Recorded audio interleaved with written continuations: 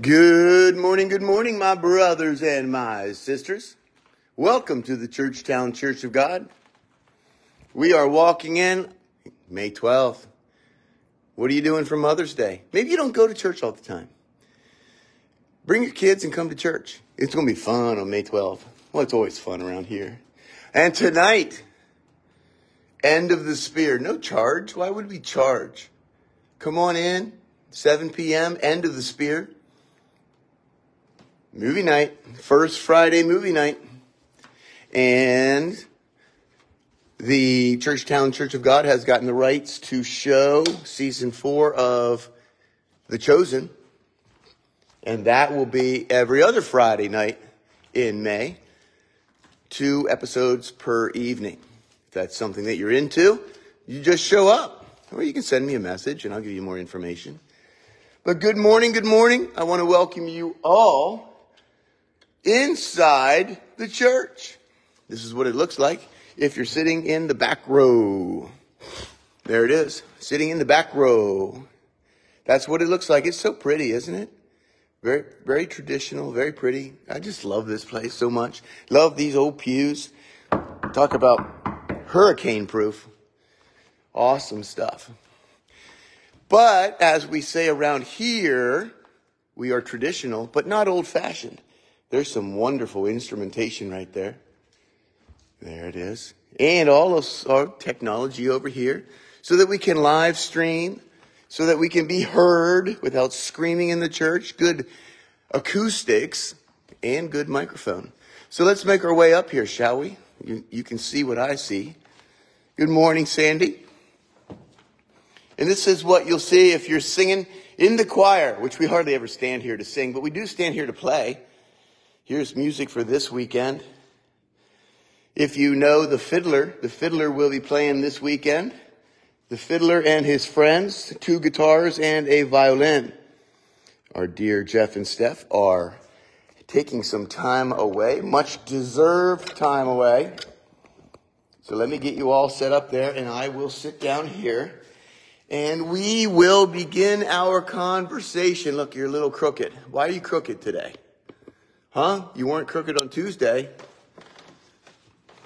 What, did you become a politician? Ha ha ha ha ha! That's just a joke. Well, not really. Politicians, man. Got to, you know, you got to sell your soul to be a politician. Am I right? Am I wrong? I guess there are a few that haven't, but my goodness, they are in the minority. I had a good conversation about politics and church. You know, and where do I land on all preaching politics in church? And we've talked about this before. There are political, bureaucratic issues like social justice type stuff and paying off student loans and things. They don't belong in a church. I mean, okay. You've got your own political views on that. You've got your own socioeconomic views on that.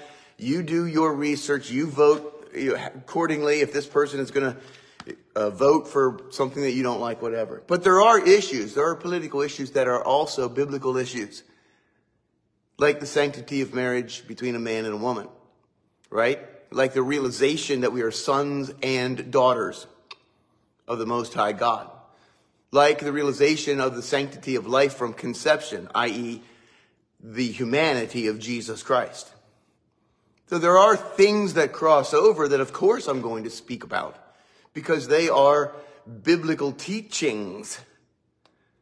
Does that make sense? So it's not like you, you know, it's not, you know, you have churches that are just all in on politics and, and social justice and this program and that program and this politician, that politician. No. But there are crossover issues. Good morning, Brittany. There are crossover issues that are biblical issues, like the three that I just mentioned. That's where we stand as Christians. You can't escape that. So I'm all of that to say I'm looking for Philippians. First and second Corinthians. Do you know your song? I didn't get it prepared in advance because it's so beautiful. I was walking Susie this morning and we took a little extra long walk. It was so nice outside. Just, oh, the air is light, you know, not yet so humid, but warm and the sun is beaming. And I cannot wait to get out there today and do some serious weed whacking and mowing and just be outside. Ooh. Ooh. Ooh. There it is.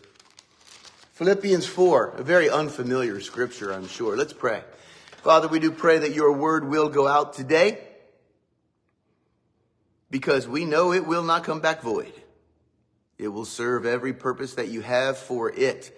May the truth be heard throughout the world. May hearts be warmed. May necks be turned. May eyes be cast up to you and may your kingdom grow in Jesus' name. Amen. That's our whole purpose here. Good morning, Rosie. Good. It's, it's showing that like lots of like a bunch of people are watching, but only one is showing up there. So if you're watching, if you can get to a thumbs up, because I'm I'm trying to figure this out. You you know what we did figure out finally? Thank shout out Mark Cole. You've been tagged. You're always tagged. There we go. You got one thumb, two thumbs. So that's so it's not there's a bunch of folks here that it's showing and only the number one up top. There's three, four. Okay, see? Okay. Good old Facebook, just trying to figure it out. But you see that we got podcasts up now. If you search Apple Podcasts or Spotify for turning on the lights, you'll find it. Mark Cole, shout out, is converting turning on the lights to podcast and also Churchtown Church of God sermons. He's cutting out the music and so forth and going to the sermons and the teaching. So you can search Churchtown Church of God sermons and you'll find that. And that's live on Apple and Spotify. Huh. Download, right? Rate it, review it, all of that stuff. Let people know. See, we've been praying around here, haven't we? We've been praying like, Lord, take what's happening here, take this teaching and send it and all of us, you know, not all of a sudden, sure, it's just coincidence. We have the capability of sending it. Hmm. It's like we made a focus on how do we welcome families? How do we welcome children? This is when only my children or my grandchildren were a part of the church. Now there's a bunch, right, Britt? In come Brittany and Sean and, and Willow, and we're like, oh. The Lord was waiting for us to be able to care for folks. And I believe we have been obedient. So it's pretty cool. Pretty cool to see him working. Uh, it's pretty amazing to be a part of that. Let's read Philippians 4.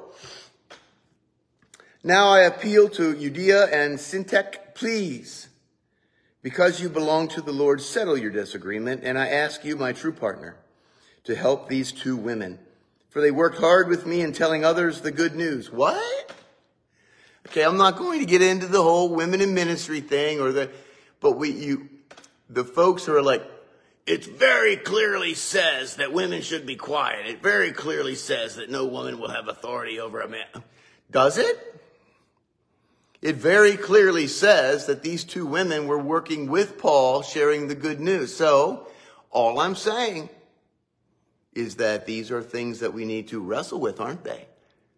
We as human beings like to cut and dried, baby. I want it black or white. I want no gray area. I don't want to wrestle with scripture at all. But you got to wrestle with scripture. Because in the very, the very, in the, in Corinthians, when he says, I will, women should be silent and submissive in church, and if they have questions, they can ask their husbands. And then two paragraphs later, it's like, when women prophesy, good morning. When women prophesy, they should prophesy with and like, okay, wait a minute, what is it? They should be quiet and ask questions, or they should speak in church. And prophesy means that you are speaking the word of God. Now, in our day and age, right, it means like me. We are speaking the word of God. I am not a prophet. The office of prophet is done. But there is a gift of prophetical speaking. You, anyway, I'm get, getting off into the weeds already. Pardon me. That's another byproduct, of course, of this beautiful, wonderful day and all of these wonderful, beautiful maple trees. My gray car is now yellow and the extra long walk with Susie this morning. Put it in there. Good morning, Mary. That's not what I came here to talk about. I'm just saying there, I was teaching actually at, at Carlisle Christian Academy, Academy on Monday, and one of the courses, there were two courses of apologetics. And so the questions that the teacher had were wonderful, and I taught them what I believe. Why? Because they were, they were solving apparent contradictions on their own using resources that they had available. They did an excellent job. And I said, so why do you think it looks this way? Why do you think that we have to wrestle with such things? And, you know, well, I, I don't know. And I said, well, the book is constructed this way intentionally. We're not sitting around 2,000 years later wrestling with the Odyssey. Well, what do you think Homer meant when he wrote this verse as opposed to this verse? But we are sitting around 2,000 years later on the daily in deep discussion, learning, growing, becoming through wrestling with scripture. Coincidence, I'm sure, right? This is our new favorite saying around here. But that's why. Because now we're going to go in and we're going to examine all of the different things from human sexuality to the moment of conception, when a, person becomes a person, Jesus Christ, to the roles of women and men in formal vocational ministry, to the offices that people are claiming they're walking around as prophets and apostles today. Okay. All of that just from, right? So settle your disagreement. And I ask you, my true partner, to help these two women, for they worked hard with me in telling others the good news.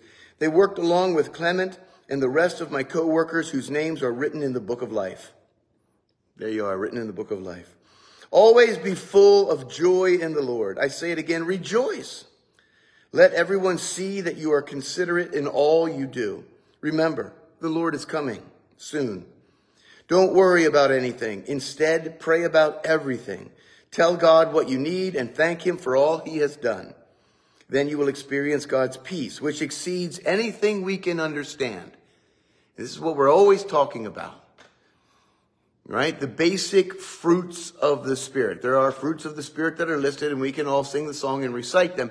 But when we talk about the human understanding of peace, joy, love, right?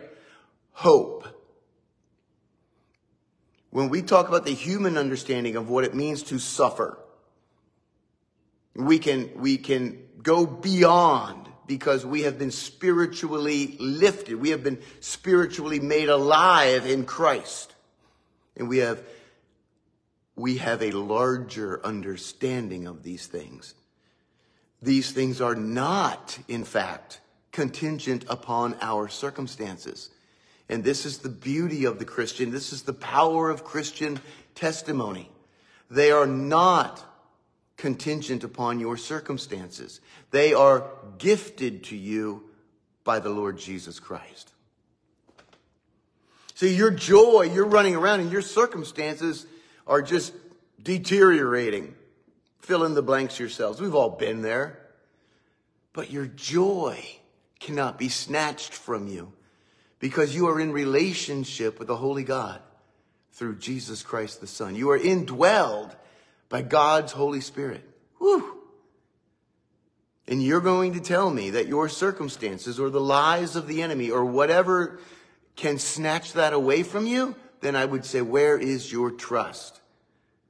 I would use the words of Jesus Christ as he says many times, you of little faith.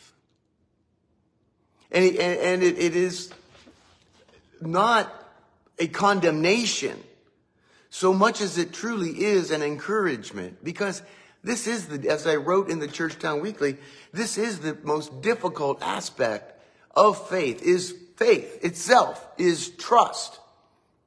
It is when you let go No, of course, that's not to say you just, okay, whatever, God, just go ahead. I, I'm doing nothing. No, God guides a moving ship, to be sure. but we seek his will through his word and in prayer and through conversation. And we put one foot in front of the other and our joy, our happiness, our, our peace is not contingent upon the circumstances of this world. We move through the circumstances of this world with the hope and the joy and the love and the peace and the understanding of suffering that comes from the Lord. So it is important. Good morning, Liz. It is important to understand, not just understand that, but to live in that power and trust. And you say, but, but, but, but, how can I be happy? This and that and the other thing has happened. I've, I've received this diagnosis or my best friend this or my mom or my dad or whatever the circumstances may be. Lean into God's Holy Spirit. Lean into God's Holy Spirit. Go in prayer and supplication. Open scripture and read something encouraging like this and say, Lord, speak. I want to know you more deeply and richly. That this is how you will come to know yourself. That's where we kind of get it twisted. If you listen to a lot of sermons, you will hear, you will be happier, you will be powerful, you will be healed. What's the subject of all of those sentences? You. The subject of scripture is not you. The subject of scripture is God. You are created in the image of God. If you want to learn more about you, learn more about God. If we flip that script and I'm telling you are this and you are that and you are this and you are that, then I project that onto God. It works the other way. Wow. God is like me. No. You are made like him. So if you want to know you, know him. And this is why we have, this is why 2,000 years later, on the daily and very deeply, we are wrestling with Scripture. I love it. And now, dear brothers and sisters, one final thing. Fix your thoughts on what is true and honorable and right and pure and lovely and admirable. Think about things that are excellent and worthy of praise. Keep putting into practice all you learned and received from me. Everything you heard from me and saw me doing, then the God of peace will be with you. Who is in charge of your thoughts? You are. And more than one time, scripture teaches us to capture our thoughts and guide them in a different direction. If you don't want to think about something, you can think about something else.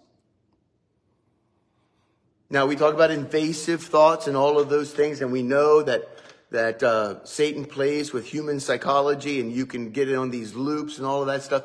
And hey, maybe Christian counseling is the way to go. Maybe there is some sort of imbalance. Be careful with all that stuff, but maybe some medication can help. Those sorts of things are fine. But you can capture your thoughts and redirect them. I always teach my grandchildren, just as I taught my children and the, the children that I served at school. You are also in charge of your emotions. No way. Yes way. One of the things I really dislike hearing is, you made me feel. Nobody can make you feel anything. There is a situation and you're choosing to react or feel in a certain way. When you can begin to shift your paradigm in the way that you think about these things and the way that you understand your feelings and your emotions and your reactions and your behaviors, of course, and understand that you are choosing them. It may be a repetitive loop that you do so without thinking, so to speak, cause and effect in your behavior or your thoughts, but you are in charge of them. So capture those thoughts, redirect them to what is good, right? Just like you can be in charge of what you watch and what you listen to. Garbage in, garbage out. Good stuff in, huh? good stuff out. So Paul is just, you know, How I praise the Lord that you are concerned about me again. I know you have always been concerned for me, but you didn't have the chance to help me.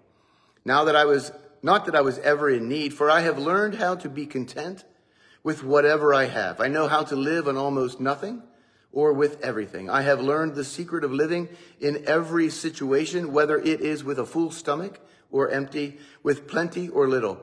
For I can do everything through Christ who gives me strength. Even so, you have done well to share with me in my present difficulty. So there is the famous verse, but also there is the full context. Now, this may be a nice verse to go through your head in a particular circumstance or when something drastic has been asked of you. I'm not going to say, hey, that's wrong thinking there.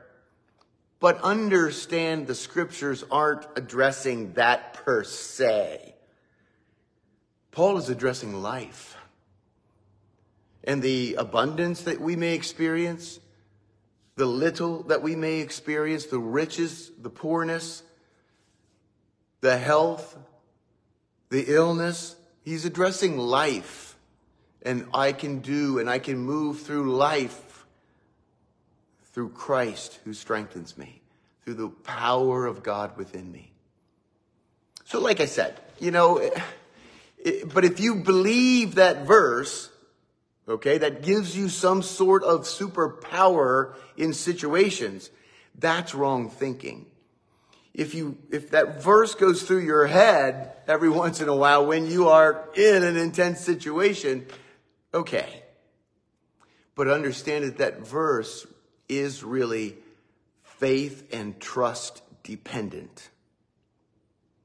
You can't just move through life and then something happens. Now you call upon the Lord. When he says, I can do all things through Christ who strengthens me, all means all. It means all of everyday life. All of the good, the bad, the ugly, the wonderful, the terrible, the rich, the poor, all of that. I can do all things through Christ who strengthens me because he is with me 24 7 365.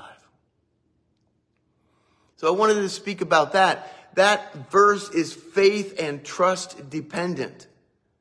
And when you can have that faith and trust, you can experience what Paul is speaking about in Philippians 4. And that verse will have real, deep, rich meaning. And you can stop pulling it out of scripture and wielding it like some sort of a weapon or tool and understand that is truly the big picture of life the love, the peace, the hope, the joy, the understanding of suffering, the bigger picture that we are given by the power of God's Holy Spirit. Right? That, that, is, that is living well.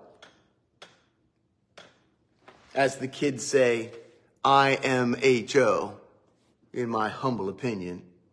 That is living well. That is living life and living life to the full. Whether you have a little or whether you, whether you have little or whether you have a lot, whether you have great health or whether you have ill health, whether your circumstances are just cranking and everything is great or whether your circumstances and your whole world seem to be crashing down around you, I can do all things in all situations, in all circumstances through Christ who strengthens me. Big picture, not little picture, not the event that's happening now. I can do all things through Christ who strengthens me. Big picture. Because you, as a repentant soul, are a child of the Most High. Father, we pray your word will indeed bless people this day. However, they may find it, wherever this may pop up, Lord, I pray that any words of encouragement that are provided here will be provided for the individuals who need them most. In Jesus' name, amen. Hey, kids, it's Friday, so you know what I'm going to say. Sunday's coming. We got a good one. We got a good one. It's a lot of fun because, like I said, we got the fiddler and his friends this weekend. You know, there'll be a fiddle and two guitars. uh, violin. See, now when, when Liam plays the prelude, and he, I always joke with him with this, when he, when he pr- plays what I call, are you going to play one of those pieces I can't pronounce? So when, when he plays one of those pieces I can't pronounce, that's the violin. Oh, he's good. But when he gets down to power in the blood, because we're doing There's Power in the Blood, is one of Mackenzie's favorite songs. She's coming up to help sing it. Then he's a fiddle. And it's pretty cool. It's pretty cool. It's going to be really neat with the new sound system and everybody will be able to blend. And so I'm very excited. And we're preaching out of First John. Spiritual warfare, baby. And in essence, how to be content in all things. So it's, I'm looking forward to Sunday. I hope you are too, wherever you are. Go to church. It's important.